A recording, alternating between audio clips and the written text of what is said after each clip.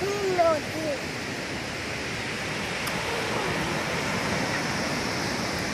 YouTube, hey YouTubers, it's Ryan coming at you from uh, the beach.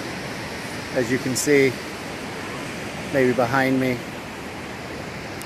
we got uh, give a little pan view here.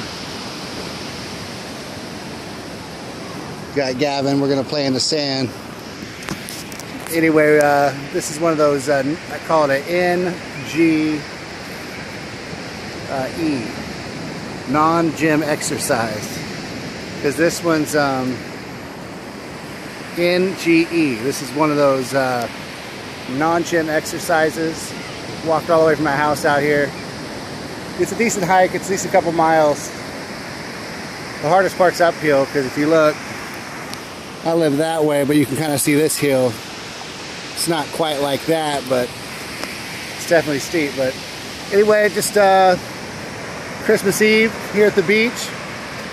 Beautiful day. Um, doesn't get much uh, doesn't get much nicer than this. So don't want to rub it in too much for all you guys that are out there and um, you know you guys are out there in cold weather or situations where you can't really you know just walk out to the beach and stuff like that. So uh, but just want to show you what, what I did today for exercise and uh, things are going good. Check the scale.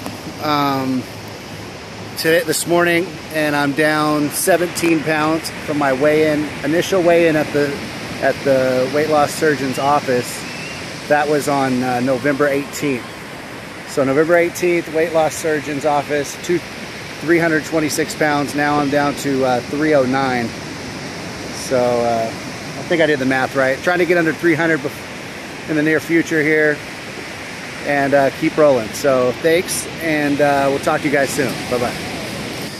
Gavin, are you having fun?